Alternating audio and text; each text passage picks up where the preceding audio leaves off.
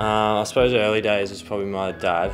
Um, he coached me a lot uh, through the through my juniors and um, in the backyard and that. So he's been probably a big one um, early days. And then once I moved in um, to sort of the rep teams, uh, Rhett McLennan, the Gippy coach, has been big for me um, just because he backed me in all the time. And I was pretty skinny last year, but he still played me a lot. So um, yeah, so him and Lee Brown also from Vic Country didn't actually coach me officially, but I did a lot of camps with him, and um, yeah, he tried to get me out of my shell a lot, so that really helped. So that, that, those three are probably the best ones.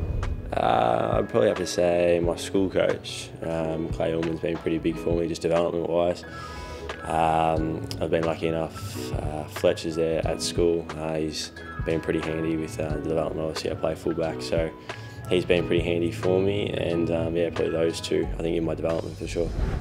Um, definitely, my dad's probably the biggest one. Um, he yeah been kicking the foot in the backyard since I could walk. So um, yeah, no, he's been very good, especially the past few years, um, pushing me through training and stuff. It's been really good. And then um, at Calder, Tom Lonergan's been um, a great mentor and a coach, and yeah, he still calls me now. Um, just checking up on how I'm going. So yeah, those two.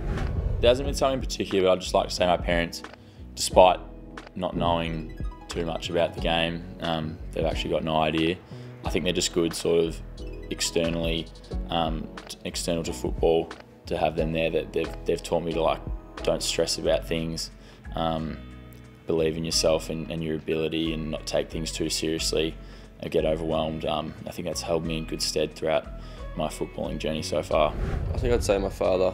Um, he played AFL back back when it was VFL actually. So he he played at the highest level. He lets me know about it too. But um, he's had the biggest influence on me. He's he's been persistent with me since I ever picked up a footy. Um, he has such a good wealth of knowledge that he's been able to pass on to me. He's been able to sort of guide me through all, all the times of growing and, and developing in my footy. So he's been the biggest influence on me for sure.